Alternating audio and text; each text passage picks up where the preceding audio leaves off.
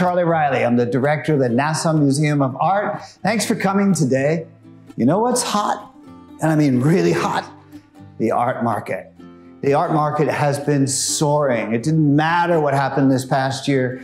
People are buying, people are investing, people are collecting. I'm here to invite you to think about how you get into this incredible game. I mean, if you thought real estate was soaring, the art market is on a tear. It's the most, it's the biggest bull market I've ever seen in a long, long time. But let me also add to that, because I've covered this since whew, a long, long time ago as a business reporter for Fortune, and I ran a magazine called Art and Auction. This market, like a lot of unregulated markets, is full of risks. There are frauds and fakes. There are unscrupulous dealers, unscrupulous auction houses. There are all kinds of ways to get gypped in a market this hot, especially for those who just don't know it.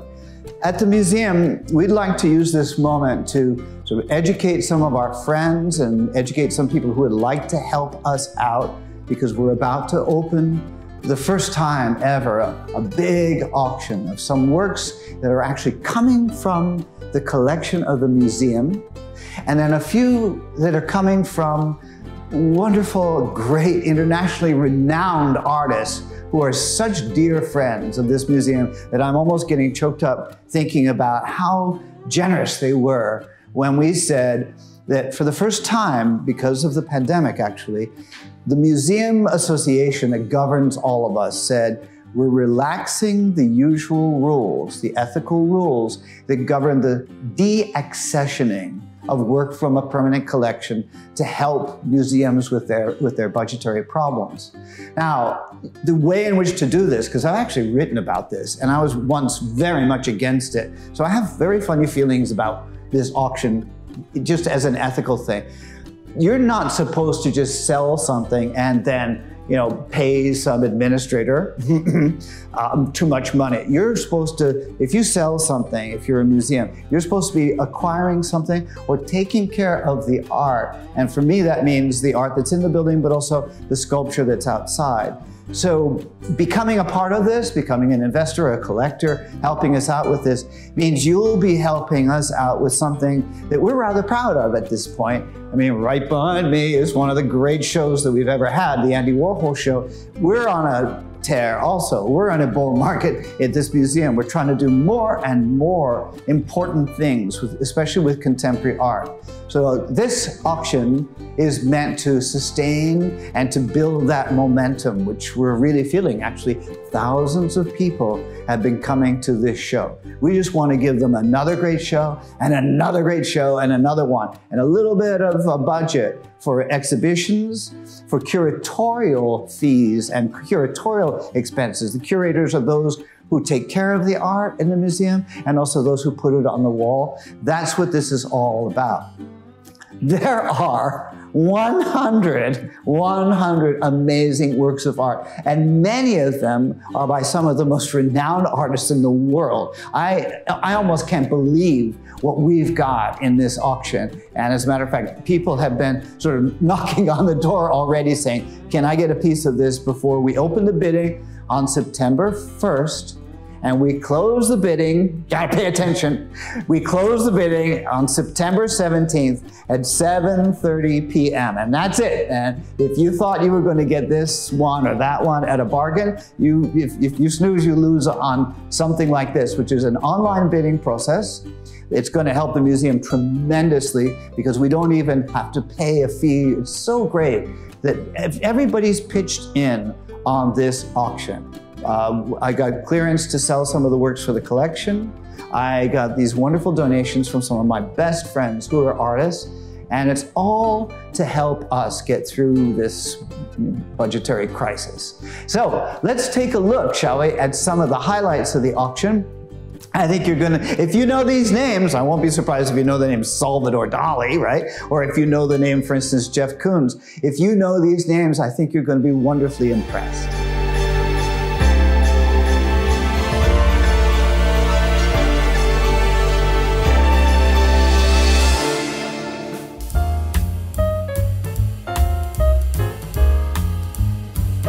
I told you the art market was hot, but you want to see something really, really cool? this is the blue dog of Jeff Koons. This is an icon of contemporary American art. Nobody is ruling the auction houses like Jeff Koons. He, you think Andy Warhol's hot stuff? Jeff Koons is amazing. I've known Koons since 1981, right? When he had just been, actually, a Wall Street commodities broker. He knew, he understood how markets work. He understood how art and money go together. And then he took off on this amazing tear. Every time I see Koons now, I think, you planned this really brilliantly, you know that? Because he found a way, for instance, in those days, he would take a vacuum cleaner, literally from Sears, put it in a box, and sell it for $10,000 as a sculpture. He's picking up on a great idea that Marcel Duchamp already had, which was take a urinal, sell it as a sculpture. It's kind of, it's kind of the artist as consummate wise guy. But then Koons became, in terms of monumental outdoor sculpture, with a huge puppy covered in flowers, Koons suddenly became the most sought after artist when it came to either public art or the trophy collections of hedge funds managers all over Greenwich, Connecticut. This is an opportunity for you to join their ranks. And when I say there is no, if this were Wall Street, right, this would be like buying shares of Apple. or buying shares in the old days of GE or IBM. This is this is the blue chip. And Jeff Koons, you know, it really it doesn't get any bigger than this. And I happen to think that this is probably going to be one of those, probably the most sought after piece of contemporary art in the whole sale. It's amazing just to have it, right? Everybody loves the balloon, dogs, by the way. It's interesting. I'm standing in front of Andy Warhol, and I remember what was so fun about Warhol was that Warhol, you know, could just sort of make you smile. And Koons makes you smile. And as a matter of fact, every time I see Jeff Koons, and this goes back to 1981. He had that smile on his face too, which is, of course, the smile of the artist laughing all the way to the bank. I really think that when we put these works on view September 7th at the Manes Center here at the museum, this is probably one of the pieces that you're going to want to pay very, very close attention to.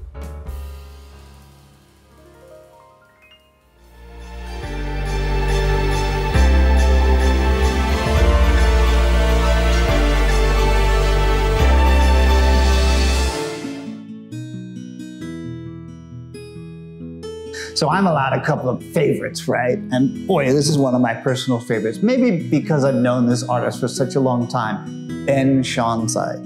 And in the world of photorealism, I think he, he and Richard Estes, but he's just about the greatest that you can have. Probably 20 times his masterpieces have been on these walls of this museum in the 30 year history of the museum. This is really, really a major artist. He's known in Germany, he's known in Asia, he's known all across the United States. I can't believe he was kind enough to give us this little masterpiece with a wonderful surrealist side to it, getting you ready to think about Salvador Dali as well. Then can do anything as an artist. He could do tight photorealism. He could do brushy and drippy, like something like that. He can bring you in close to a little figure like this, which is an amalgam of something that is not alive and something that is alive. You see the lovely, it's the ears and the palette of the face of this figure. They're almost like two figures on a stage. His mom, by the way, was a singer I've always found something very cinematographic about Ben Schonzeit, something as though he's doing a scene from a movie, a scene from a play, especially the way in which he lights it. This one is called Spotlight, and man, it is a gem. And it is a great opportunity to own your own Ben Schonzeit. This guy at a gallery is wickedly expensive. So it's really amazing that we've actually got this painting here in the auction.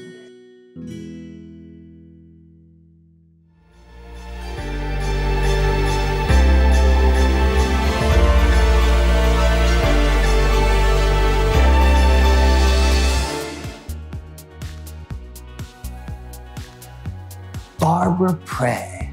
Who is the greatest watercolorist in the world right now?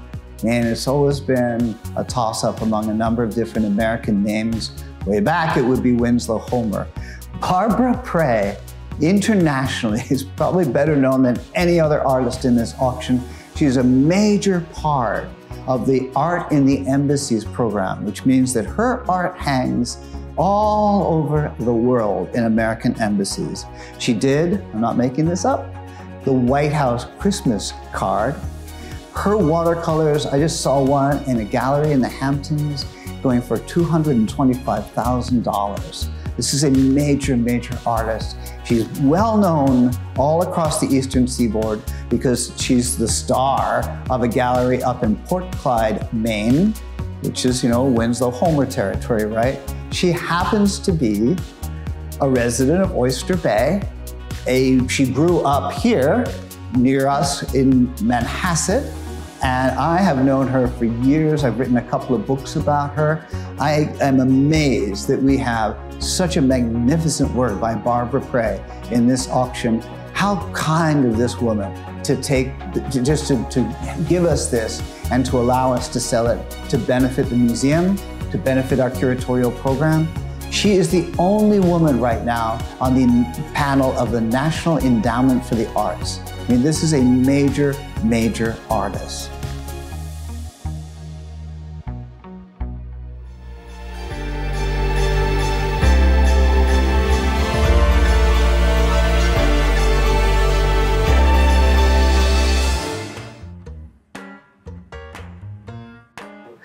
One of the loveliest things about this auction is that you're not only going to support your local museum, which is trying very hard to become an international sensation, no, but you're also supporting local artists.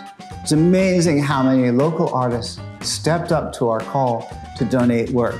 And this is by Raul Conti. It's called Bajo el Timbo. I think it's a kiss. I think it's very romantic, actually. Reminds me a little bit of Constantin Brancusi and that wonderful kiss, those two kissing figures that he engraved in stone, locked together. It has marvelous color. It has an amazing formal composition and structure. The symmetry of it, it's Adam and Eve in a way, but in a beautifully modernist vein. It sort of straddles that wonderful hybrid territory that many art historians love between abstraction and realism. And boy, are we lucky just to have the opportunity to see it here at the museum.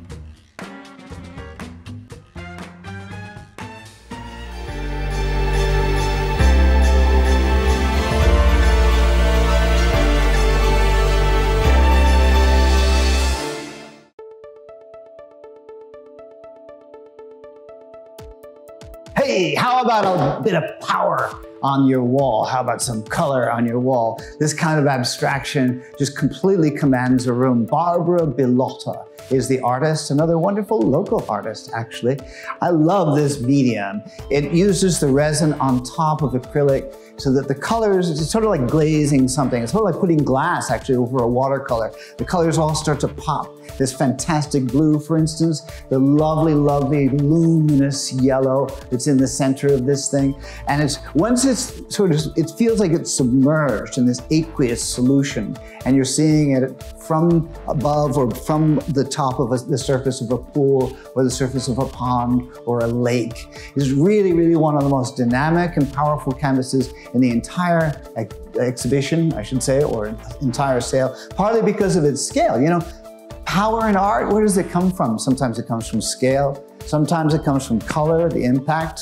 Andy Warhol was the famous one for that. And sometimes it just comes from the type of composition. This thing just sort of surrounds you. Barbara Bilotta is the artist.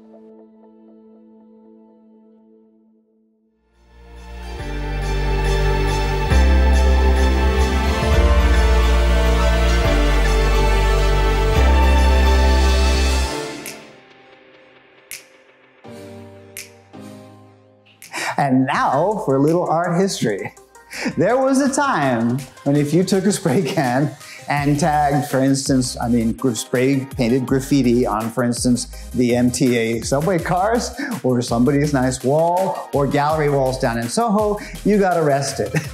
but then came a whole generation in the 1980s, and I happen to have been around when this happened, of really superstar graffiti artists, street artists. So we've got this extremely talented young artist in Glen Cove, which is right out over there through the window I'm looking at. And his name is nicknamed because they all have a nom de plume, right? A nom de guerre. and his nickname is Phetus, P-H-E-T-U-S, please. And he gave us this huge thing, which is so full of life it's exactly like what he might have done on the side of a brick wall building, right? But it's there and it's on canvas. And you could take this, you could bring this right into your home, I guess, or into your office. And then what an impact this would have on anybody who walked into that room or into that gallery. This is, this is this fascinating story that's still playing out, which is how these artists went from the street into the gallery, into the museums, and became a part of our, of our lives in the so-called high art world. And I love this, by the way. It's exactly what Andy Warhol would have understood in a second. Andy Warhol being one of Jean-Michel Basquiat's mentors, right? Which is, it, it starts what, what many people might call low, right? A, a Campbell soup can, something low, advertising, right? Or the, the layout of a magazine, something low, something fairly common, something a little bit, um, you know, not worthy of a museum wall. And then it rises to the status of the work of art. And Phetus has given us, truly, people walk into my office and say, ah, that is extraordinary.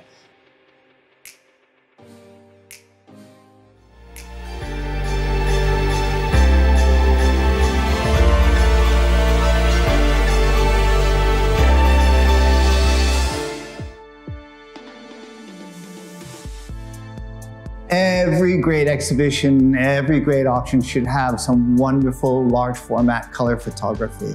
And this is just a phenomenal work by a, a wonderful guy. His name is Jim Sabiston. And Sab, as what I call him, Sab has really, really made a name for himself in the photography circles of Long Island. He's one of the most beloved figures, actually, but he's also a real experimenter with techniques, with color, with the ways of printing it. This is an image actually of Old Westbury Gardens, which is one of my rivals. Sorry, that slipped out, right? But it's a wonderful image of a very, very important place in this neighborhood, Old Westbury Gardens. I think he's a brilliant thinker and photographer. He's not just recording the scene, he's capturing, almost in an elegiac way, what makes it meaningful and beautiful. And then the greatest thing about this piece is it almost has a patina. I like art that is not just of this moment, but forever. And, and Sab in this one has been able to sort of give you the sense of the timeless. Now, Old Westbury Gardens, just like my mansion and my gardens, these are Gilded Age houses. These are Gilded Age estates. So they're already sort of knocking on the door of history. But how do you make that last? How do you make that uh, work for all time? And this is one of the great things I think about why art has embraced color photography. Just in the past 30 years or so, people like Cindy Sherman and Thomas Struth, all of us realize that the way in which these things are printed is almost like the way in which things are painted. And this is an absolutely exquisite work by Jim Sabiston. As you can see, it's very large too. It'll, it'll, it'll make a huge statement on your wall.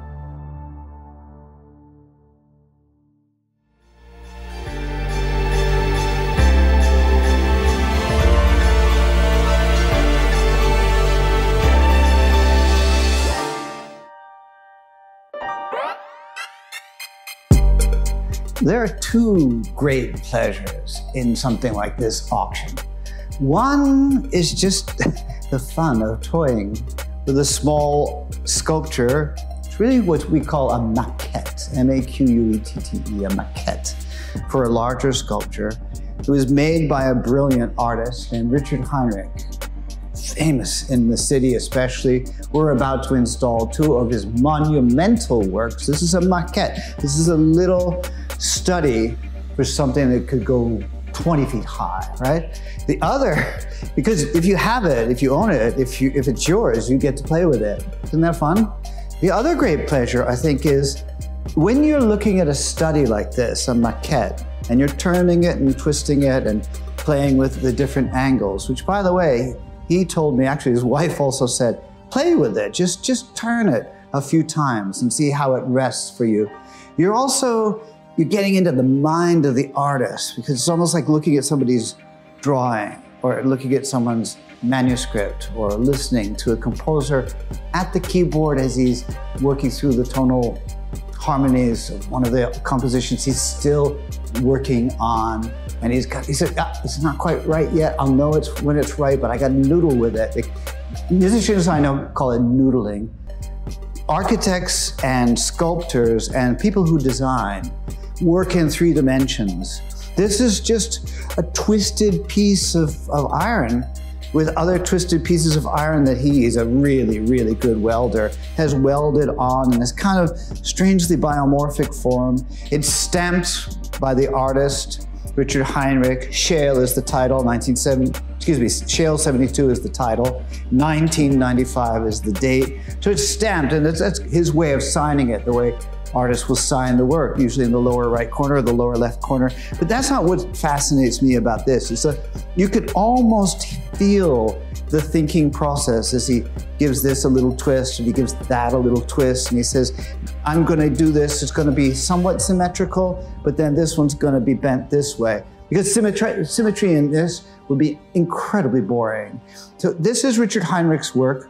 We're going to feature him when we install two of his monumental sculptures. I was at a studio visit with him. Kindly, kindly, he said, What would you like for your auction? What would, what, what would appeal to you? And I said, I want something, Richard, that has your hand in it. I want something that shows me, showing you also, shows me the how you think, how you work.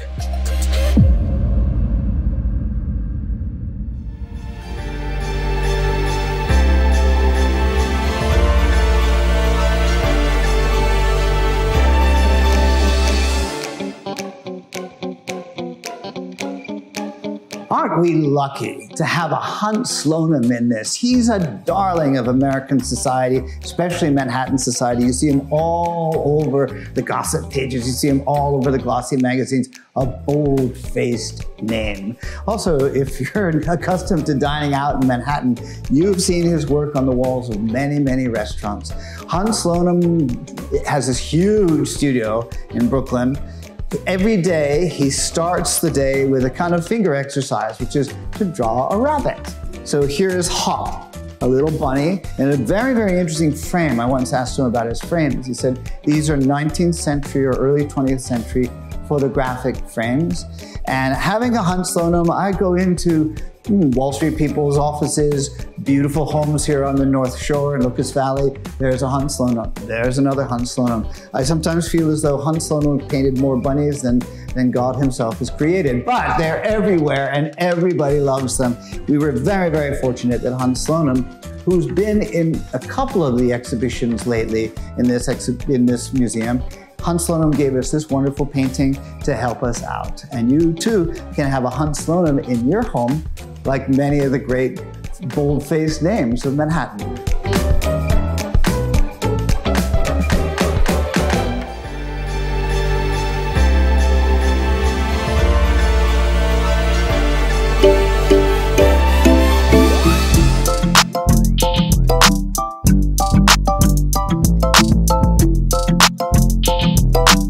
Weren't we surprised when we found in our vaults two really wonderful pieces by two of the most fascinating artists of Japan today. And it's kind of funny that I'm standing in front of Andy Warhol because one of them, Takashi Murakami, is considered to be the Warhol of Japan. He's a brilliant, brilliant colorist like Warhol. He's a very, very great printmaker. The work we have is a small sculpture, very, very charming. Everybody likes Murakami, uh, whether in Japan or abroad. It's one of the tests, right, of a great pop artist is how far the work can travel and still have a kind of universal appeal. They're very, very cheerful. He calls his style super flat. And I've always wondered about ex exactly what he meant by that. It's a reference to the flatness of many abstract canvases, but it's also his way of saying, I'm Murakami and my work is super flat. And this is a really, really quintessential version of what Murakami is best known for, which is something uh, like Koons, right? Something very cheerful, something very colorful, uh, something that brings you back to your childhood.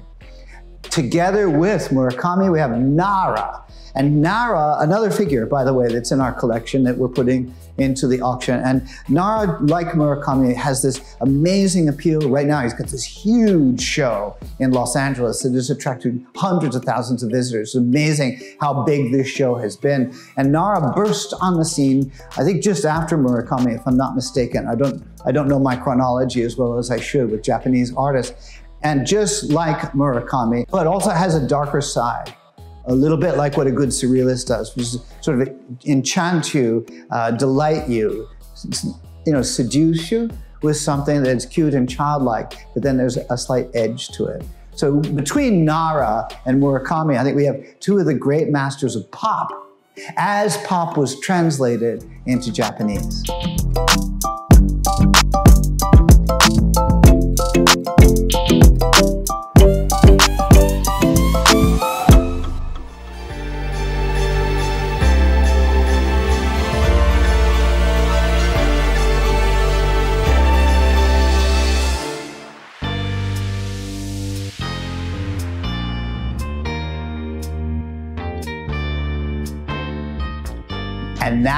For the drum roll. Now for the white gloves. Now for the moment you might have been waiting for all along.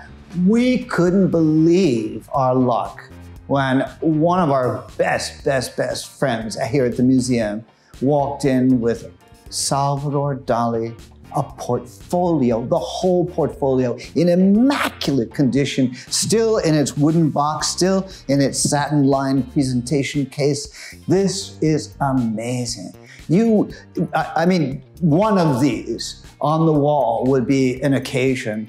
The whole portfolio completely the way it was the, the, the day he did it. Are you kidding me? This is amazing. And this, by the way, I should add is not every Dali on the market is a Dali, if you know what I mean. It's pretty, kind of notorious how many fakes there are out, out there.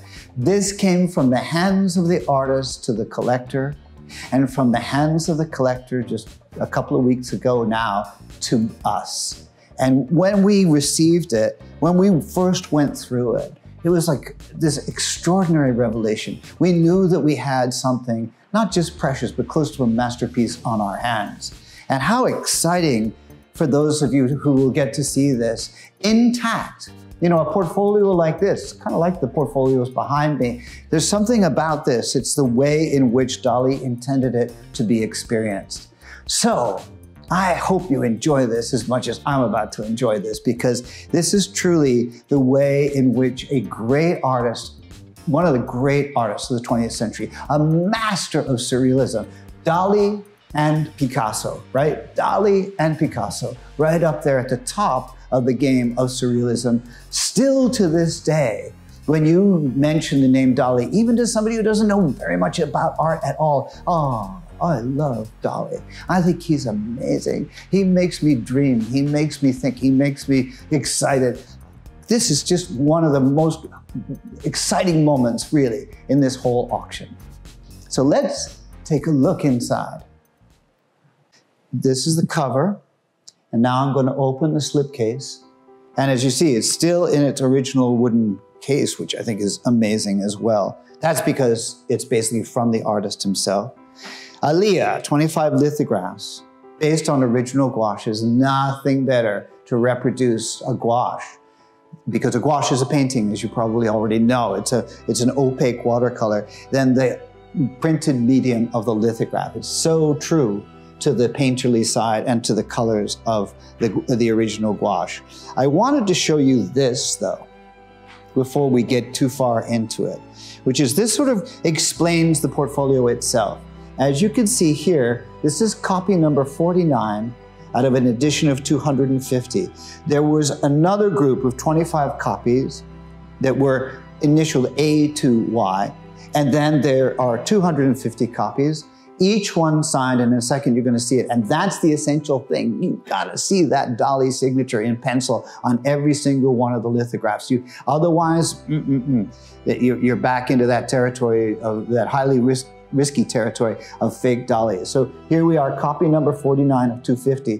When I first opened it, by the way, because I love prints, I mean, these are prints behind me too, these Warhols, I was quite fascinated that though the edition was made in New York on the 20th anniversary of the birth of the state of Israel, this is what the text, including a, a prefatory letter from David Ben Gurion, is all about.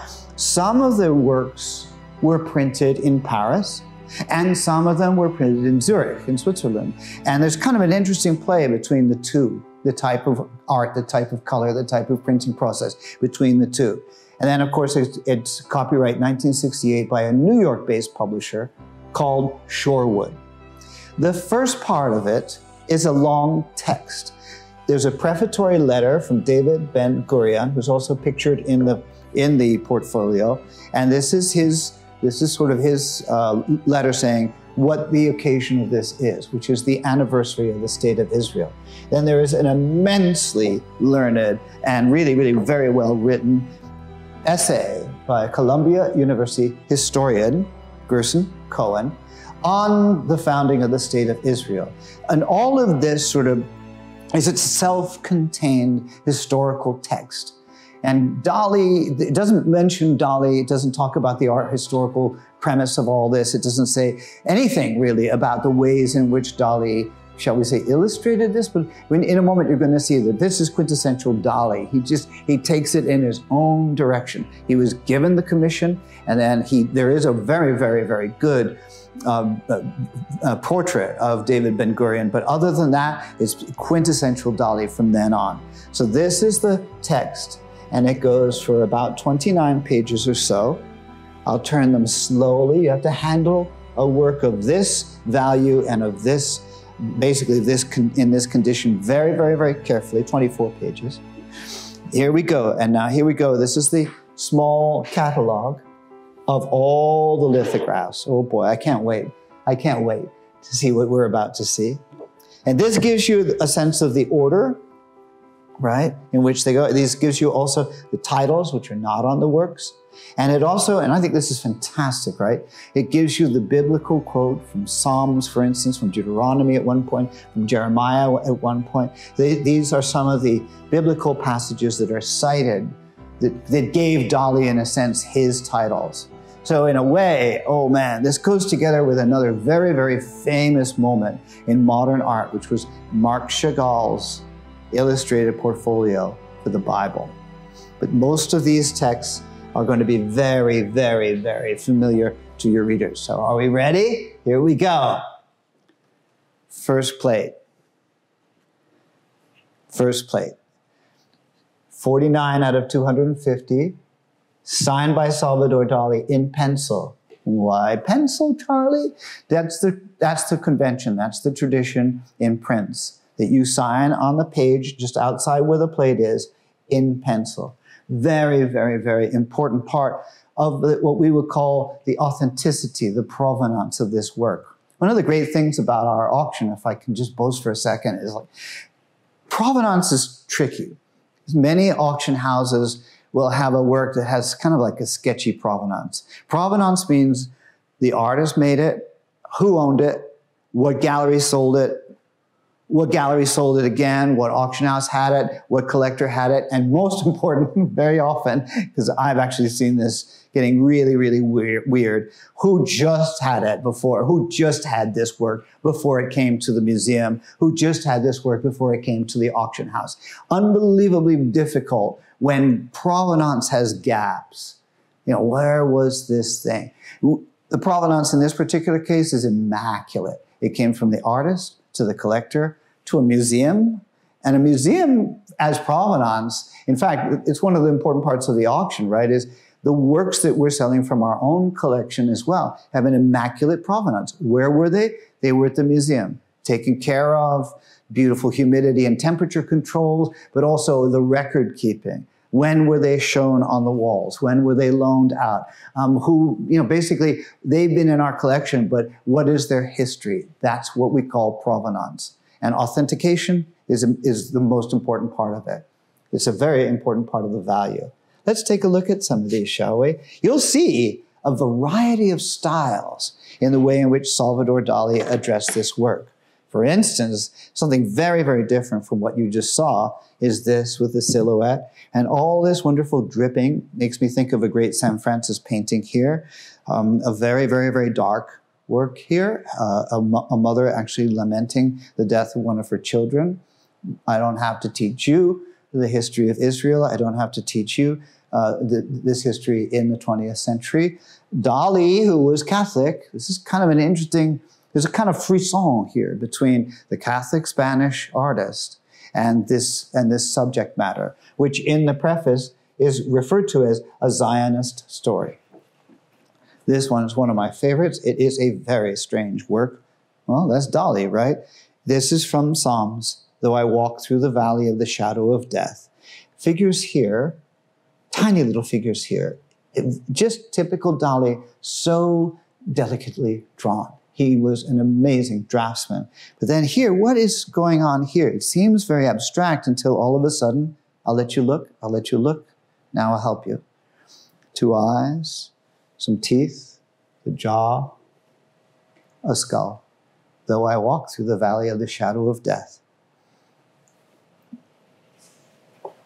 Now, an exquisite example of the draftsmanship that made the surrealist such a great realist.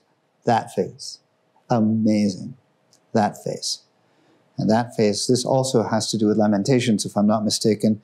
These blues, if you really remind me more of Chagall. And when this came in, we thought, ah, Chagall, Dali, Chagall, Dali, two, two great artists of the same period, two great rivals, if you will. And I find it fascinating to go through this portfolio and see Dali sometimes even adopting some of the stylistic ideas of Chagall, including the golden disc. This you will recognize instantly as the Wailing Wall. And very, very bright, beautiful colors. Why is it in such great condition? It's been in this box for so long. It's been, it's had a piece of paper over it. The condition of this couldn't be better in many ways. And uh, in addition to provenance, condition. What are the two things that could affect the value of a great work of art? I like this one because this has got that thing that Dali does so well, which is here's that little bee. Here's this mountain range back here, which is near Barcelona. You see it in a lot of Dali paintings. It's sometimes way in the distance. The famous one, Persistence of Memory, with the melting clocks, you see that range. And of course, what he's doing is he's relating his own home territory in Spain to Israel and to the Middle East. I find one of the anomalies I find in this one, if I may, because I you read these things iconographically, you read them for what's going on in this. What is he doing walking into the picture? I feel like I'm in a Monty Python skit. That's the uh, that's almost like a Catholic archbishop walking into this picture that has to do with the state of Israel. Quite, but that's Dali, right? I mean, that's what surrealism was also about. These very strange conjunctions the things that happen to you in a dream, but that aren't supposed to happen either. That's a very, very strong and beautifully printed work. Oh, look at the music in this one, which is the, uh, uh, one part of the melody of the, of the Israeli national anthem. I should have pointed out each time 49 out of 250. There's the signature, and then here's the signature again, but this was on the plate. He, he signed the plate. And really, really fascinating You'll see this a couple of times in these plates. This incredible white, like almost like a bone white. And she looks as though she's dancing on, on, on point. I like the graphic punch of these notes, the notes of the, of the melody. And now something very, very different, actually, uh, something much more exuberant. I was puzzled by this one a little bit about the sort of cuff on her arm and the ways in which she's emerging from the background. And some of these have to do with the tempestuous beginnings of the state of Israel. Now we're sort of moving from the biblical side of this to the historical side. I like this one because I kind of love the way Dali in his surrealism uh, uses eroticism. I think it's this is a, an amazing figure. Uh, that's one of the reasons uh, that Dali has captivated audiences for such a long time is that he's capable of doing a figure just like that with such ease. He, Picasso. Uh, if you want, I also think of Magritte when I look at this. But now look, you've had a moment to look carefully. Uh-oh. You see, the soldiers are entering the city. I mean, this has always been one of the great themes in art, right? Eros, love, and Thanatos, death, love and death in one simultaneous image. Probably artistically one of the most interesting moments in the whole portfolio. Oh, ho, ho.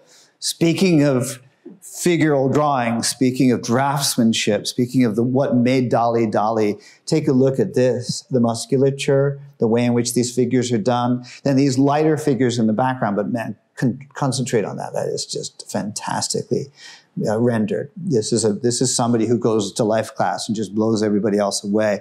Who does this remind you of or me of? Michelangelo. And also a man named William Blake, a fantastic English artist, but Michelangelo, man.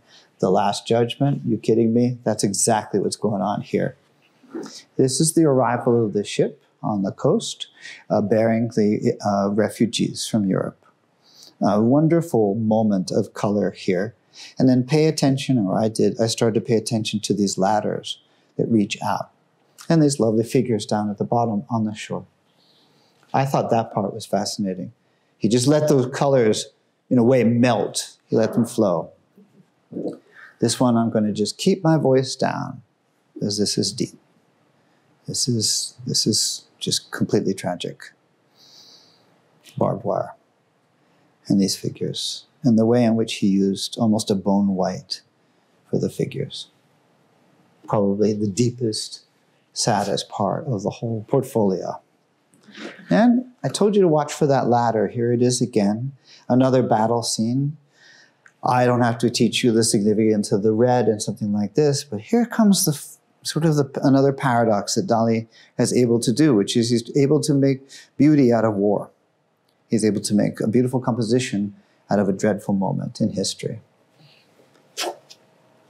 And from this, the jubilation, although it's dark, but this is in song. This is, this is the jubilation, the consolation. That this is, this is now the founding. And that's why one of the historic parts of this here is Ben Gurion. And I've seen the photographs and the, and the news photographs of this moment when he proclaimed the state of Israel. So this is drawn from uh, you know, a real moment, the microphone, uh, the, the cameras of the press that, that, are right there. Anyone who's familiar with the, with the history will recognize this image as it's, it's almost like the, I think that Dali was thinking also of George Washington, like the George Washington of the state of Israel. Now we get into a whole, a whole other group of images that have to do with that moment after the founding of the state of Israel. And it's quite, it's quite almost as though Dali took off and, and did his own thing. Because, for instance, look at this beautiful diagonal. Take your time. This feels abstract and very geometrical, but all of a sudden, ah, there's the angel's wing. There's that upturned chin. There's the profile. And here, here, here, eh, almost like a Leonardo drawing, is a, face. And now it's Dali taking off in the different styles in which he was famous for. This actually reminds me a little bit of the great Spanish artist, also Catalan. His name was Juan Miró.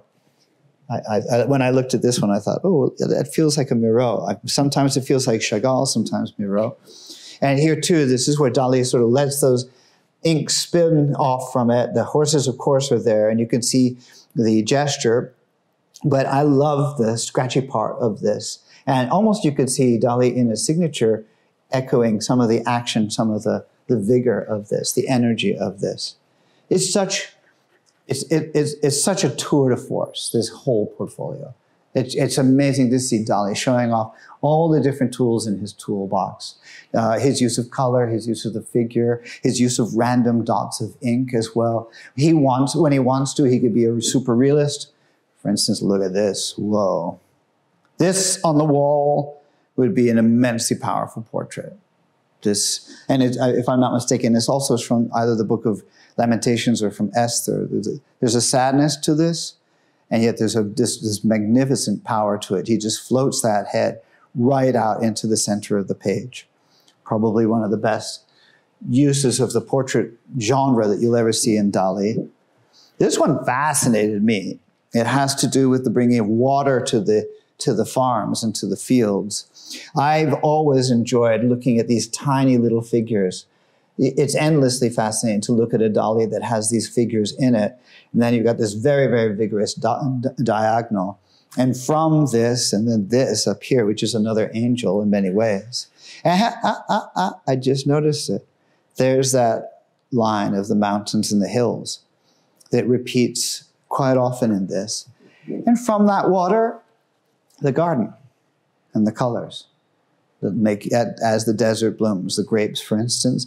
And this, I think, you know, this is Dali saying, you've seen the tragic side of this. Now I'm going to give you a little bit more exuberance. It's the, it's the, another moment when I thought of Chagall, actually, when I looked at it. But not this, not where Dali does these tiny little figures. That's pure Dali. And beautiful gestures as well. That's, that's what makes this portfolio so fascinating. Here are the fishermen and I was talking about Michelangelo before and the way in which he does the figures and the muscles in the figures. Look at that. And then all of a sudden I took a look at this part and I thought, ah, Matisse. It feels so much like Henri Matisse, the way in which Matisse would use the, the, fron the fronds and the leaves. A marvelous, marvelous figural study in here.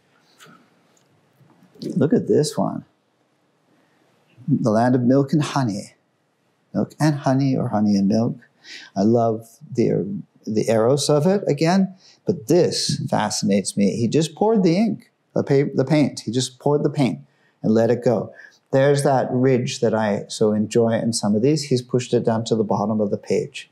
Look at the way the figures are drawn. She's dancing like that. Really, really amazing composition. And he's given this cloud a kind of colorful halo, almost like a rainbow is going to come out of it the symbolism of this. I don't need to teach you.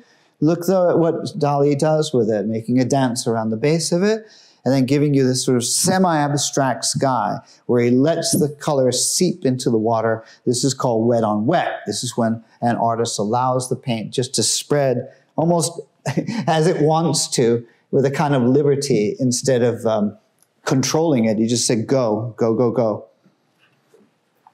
And this is the circumcision image. Uh, quite an interesting shift now in terms of the palette of this, although you do still get these fantastic blues and reds. I don't need to teach you what the, that red is all about. And I, I kind of find this almost like a chorus of onlookers watching. Ah, of course, here, look how well Dali does the calligraphy with this. And here, here's the scholar, right? A beautiful, beautiful pen. Uh, is the second great portrait study in the in the portfolio. What, um, another powerful moment. 49 out of 250. And as I was saying, you can almost feel the the way in which he's changed from one style to another. And that, my dear friends, is Salvador Dali's Aliyah, a masterpiece.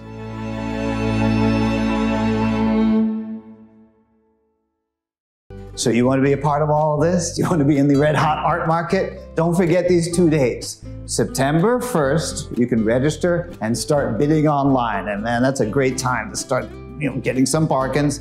September 17th though, check your bid because at 7.30 p.m., pay attention, at 7.30 p.m. on September 17th, all of this closes down and we start handing you the art hopefully that you're going to love, that you're going to enjoy, and that maybe one day is going to be worth thousands and thousands of dollars or millions of dollars for your grandchildren.